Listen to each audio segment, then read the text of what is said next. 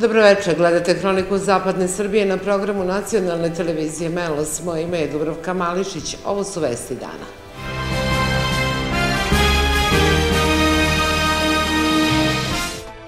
Za sanaciju obale u gradskom području Ivanjičke opštini odobreno 87,6 miliona dinara. U Roćevićima će sutra na Petrovdan biti održana 24. manifestacija Dani pesme. Zlatiborski Eko Agrar objavio javni poziv za sva domaćinstva koje se već bave seoskim turizmom, ali i ona koja imaju nameru da to učine.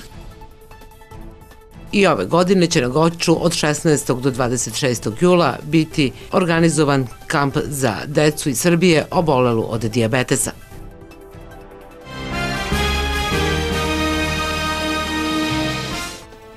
U toku su radovi na sanaciji obala u gradskom području Ivanjice. U pitanju su hitni radovi sanacije na objektima koji su oštećeni u poplavama prošle godine. Ivanjičkoj opštini odobrano je 87,6 miliona dinara. Od četvrtka 12. jula za motorna vozila će biti zatvoren saobraćaj, a ovu odluku donela je načelnica opštinske uprave. Mišljenja Ivanjičana su podeljena, mada se svi raduju predstojećoj rekonstrukciji. Ako treba ovaj most da se uradi, da, da vredi, da se ne radi kao što je urađen, onda neka i nema, nema veze. Neka se ide na Lučku reku, neka se ide obilazni, ide na Kušićan. Bolje je i tako, ali da se odradi ovaj most kako treba. Nego da, ide, da idu i da misle ljudi da li će da propadnu u Moravu preko, kroz most. Koliko je vama značajno, značajan ovaj most? Previše, previše. Ja sam 86. 83. je došla u Crnjevo. Kad je most napravljen, više sam se radovala kad sam kuću napravila. Pa ne znam šta da radim. E, da li će vam biti problem da koristite alternativne pravce? Pa bit će, ali šta će. Neka ga zatvore. Nije ni potreban. A morat ćete da koristite alternativne pravce, koliko vam to otežava? A koristit ću, pa otežava dosta. Tri kilometra idem okolo četiri. Ne znam, ali ovaj, šta ćemo? Ako nema, nema. A recite mi, da li znate da treba se koriste alternativni pravci? Pa morat ćemo, ako nema, ne, morat ćemo. Koliko je vama od značaja da most napokon bude urađen? Mnogo, mnogo, mnogo, a vidite šta se radi, to je bruk. Svoje viđenje ima i rukovodilac lokalnog ekonomskog razvoja opštine Ivanjica Jelena Jovanović. Od sutra na snagu stupa izmena režima saobraćaja zbog navedenih radova i zbog rekonstrukcije mosta. Izmene će trajati do 20. augusta, ukoliko ne bude bilo nekih produženja usled, tih iz, usled dinamike izvođenja radova. Alternativni pravci su ulica druge proletarske brigade, i ulica Venijamina Marinkovića, tako da će građani uh, morati da imaju malo strpljenja dok se ne završe radovi i ići će tim pravcima. Uh, pojavile su se poteškoće u izmeštenju kablova, uh, optičkih kablova Telekoma Srbije i kablova elektrodistribucije kao i instalacija komunalnog preduzeća, odnosno instalacija za vodovod i kanalizaciju. U toku izmeštanja tih kablova pa je došlo do privremene obustave radova. Radovi su nastavljeni još juče, tako da će sad sve ići svojim tokom.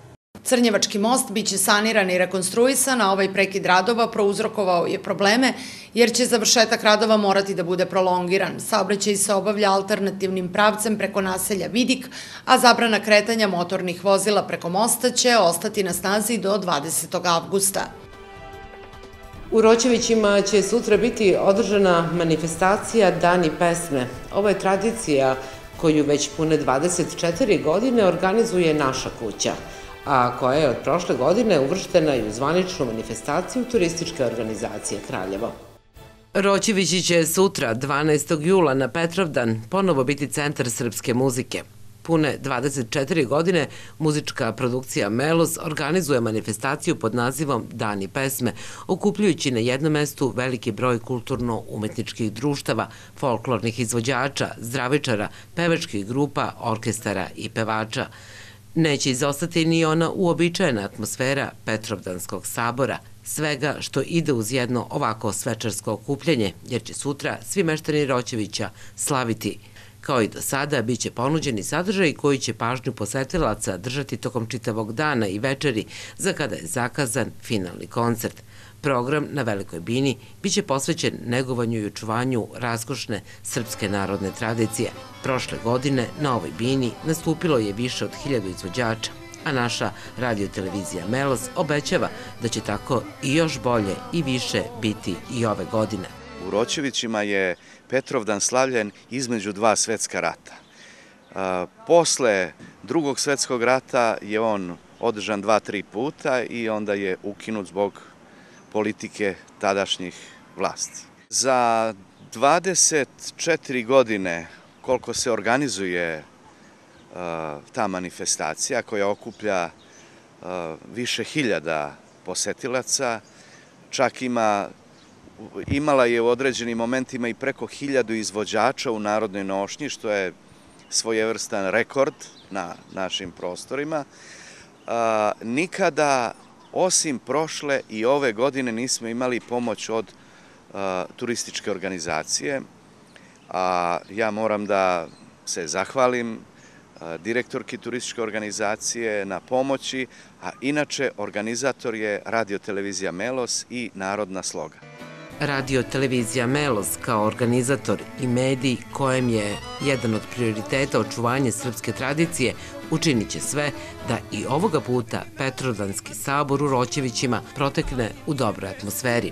Ono na što ne možemo da utičemo su vremenski uslovi, a sudeći prema najavama, lepo vreme će nam i ovoga puta biti saveznik – Podsećamo, kulturna manifestacija Dani pesme u Roćevićima prošle godine uvrštena je u zvaničan program turističke organizacije Kraljevo. Na osnovu programa mera podrške za sprovođenje poljoprivredne politike i politike ruralnog razvoja opštine Čajetina za 2018. godinu, Zlatiborski Eko Agrar objavio je javni poziv za posticaj u oblasti seoskog turizma – Javni poziv je namenjen kategorisanim seoskim turističkim domaćinstvima kao i onima koji imaju nameru da u budućnosti pružaju usluge seoskog turizma.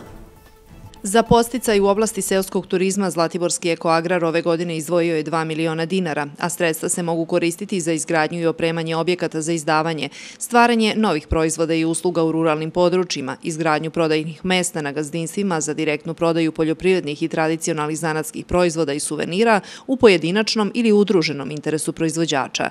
Potencijalni korisnik investicije mora imati registrovano poljoprivredno gazdinstvo na teritoriji opštine Čajetina, mora imati prebivalište na teritoriji opštine Čajetina, a samim tim prebivalište i u mesnoj zajednici u kojoj se nalazi e, potencijalni objekat koji pruža usluge. Koliko je reč o izgradnji objekata ili adaptaciji, potrebno je da podnosilac posjeduje građevinsku ili upotrebnu dozvolu, a što se tiče nabavke opreme, u tom slučaju korisnik treba da se vodi standardima za kategorizaciju seoskog turističkog domaćinstva u kategorije, jer tamo je taksativno navedeno šta određeni objekat mora da ispuni za primjera radi dve, tri ili četiri zvezdice.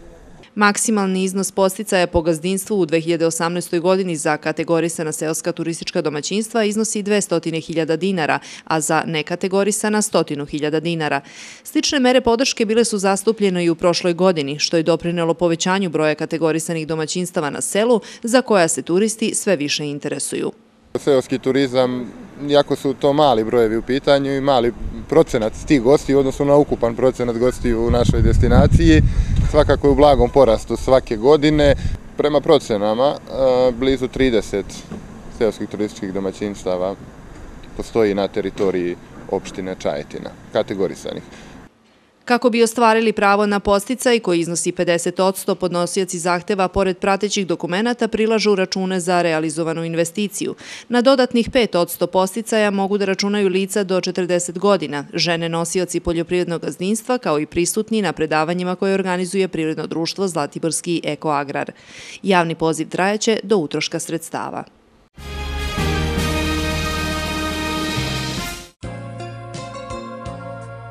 Ugostiteljsko-turistička škola Čajtina i ove godine upisuje sledeće obrazovne profile. Kulinarski tehničar 30 učenika. Turističko-hotelijerski tehničar 30. Komercijalista 30 učenika. I trogodišnje odeljenje kuvar konobar po 15 učenika. Škola posjeduje savremeno opremljen informatički i kulinarski kabinet kao i školski restoran na Zlatiboru. Naši učenici tokom svog školovanja stiču praktična iskustva u renomiranim ugostiteljsko-turističkim objektima u našem kraju. Naši obrazovni profili imaju prohodnost na sve više škole i fakultete. Dobro obučeni za svoje buduće zanimanje, naši učenici su na najbržem putu do zaposlenja.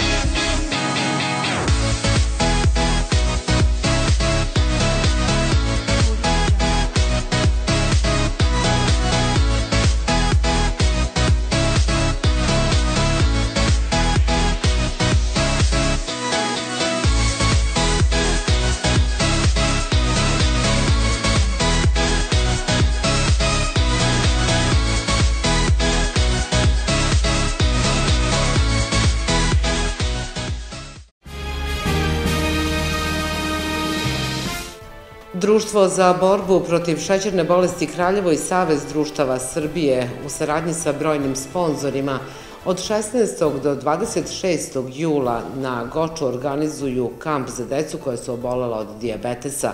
Kamp će okupiti oko 70 dece iz cele Srbije iz Kraljeva, na Goču odlazi njih 12. Kraljevačko društvo za borbu protiv šećerne bolesti okupilo je u svojim prostorijama još jednom decu i njihove roditelje pred polazak na kamp na Goču. Tradicija organizovanja kampa i druženja dece koja su obolila od diabetesa sa područja cele Srbije, društvo zajedno sa Savezom društava za borbu protiv šećerne bolesti i brojnim sponzorima nastavilo i ovoga leta. Boravak dece na kampu je besplatan, kao i svake godine, osmišljen je određeni program. Pored one osnovne terapije koju oni imaju, koja je uključena u dnevni e, red dana, tako da kažem, e, deca imaju e, prepodnevne šetnje, imaju tu, tu neku fizičku aktivnost koja se uglavnom odrađuje u poslepodnevnim satima, imaju psihološke radionice, imaju predavanja, sve u smislu njihove edukacije i dobrobita nauke o diabetu. Kamp znači druženje i upoznavanje novih prijatelja, ali i bolju informisanost o svojoj bolesti, kažu deca koja su do sada više puta boravila na Goču. Ovo mi je treći put na kampu sada. E, iskustva su odlična, kao i hrana i ugostiteljstvo. E, tamo se baš dobro brinu o nama. Lekari su uvek sa nama, kao i volonteri, koji e, upisuju šećere, a posle toga idemo kod lekara da primamo dozu insulina. Koliko ti to zdravstveno pomaže? Pa mnogo, jer tamo ima dosta predavanja i stalno naučimo, svake godine naučimo nešto novo. Roditelji mogu da posećuju decu na Goču, ali ne i da budu sa njima. Takav način organizovanja kampa je dobar za decu i zadovoljni smo što Kraljevačko društvo za borbu protiv šećerne bolesti na ovaj način misli o našoj deci i ima snage i mogućnosti da u ovim vremenima organizuje druženje dece besplatno kažu roditelji koji su bili prisutni na današnjem roditeljskom sastanku. Ja sam majka dvoje dece, oba imaju diabetes. Čerka je 2003. godište, sin 2001. Ove godine će biti treći njihov odlazak na kampovanje i zaista sam zadovoljna i ja kao roditelj i oni kao deca, naravno čim imaju želju da idu treći put na kampovanje. Zadovoljna sam iz razloga što su tamo deca sa istim problemima, iste teme, imaju, što bi rekao moj sin, manje više pričaju o problemima, više se posvećuju nekim sportskim aktivnostima, dobrim stranama života, tako da ujedno i zaborave na, na svoje probleme i obaveze, a opet s druge strane mi znači i meni i njima što imaju potpunu kontrolu gore na kampovanju, 24 sata dnevno su ovaj, zdravstveni radnici sa njima, tako da zaista se osjećaju bezbedno i oni i ja u toku tih 10 dana. Ovog leta na Goču će boraviti oko 70 rodece iz cele Srbije, iz Kraljeva njih 12. Kamp na Goču počinje 16. a završava se 26. jula.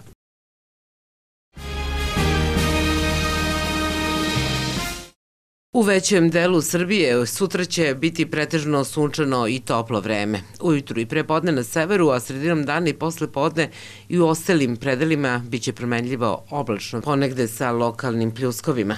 Jutarnja temperatura kreteći se od 13 do 18, a najviša dnevna od 27 do 30 stepeni. Bilo je ovo sve što smo pripremili za ovo izdanje Hronike Zapadne Srbije. Ostanite uz naš program i vam želimo prijatno večer.